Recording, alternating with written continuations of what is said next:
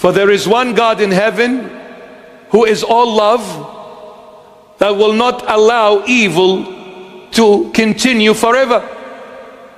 For there is an end to everything under the sun. And no matter how fast and how far you run, the end is coming sooner or later. For God is the Almighty God who is the only true judge. He's all love, but He's all justice as well. He's calling us to His love. But if we disobey Him, he is, we are leaving Him no other choice but for Him to use His justice and bring down hailstone weighing heavily on us. When his, when his arm comes down, it's not going to be easy. The punishment is going to be very severe. It's going to be very painful, beyond your capacity, beyond what you can manage, beyond it. So let every human being examine their conscience.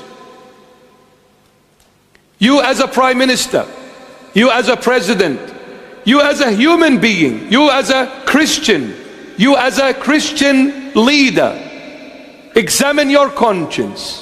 My friend, we ask ourselves as Christians, we ask ourselves this question What does it benefit a man if he gains the whole world yet at the end loses it? What does it benefit a man if he gains the whole world yet at the end loses it? Who are you trying to please? Who are you trying to fulfill their desires? Are you trying to please yourself? Are you trying to please someone else? Are you trying to be nice before the world? Are you trying to be loved by the world? What are you trying to do, my dear friend? Because let me tell you one thing the reality of this realm, all of us, one thing is awaiting all of us the grave. And in that grave, nothing can go down there except me and you, my dear friend. And it's only me and you, nothing that we ever owned, nothing that we ever achieved, nothing that we ever built, nothing, nothing, nothing. It is me and my deeds. That is all.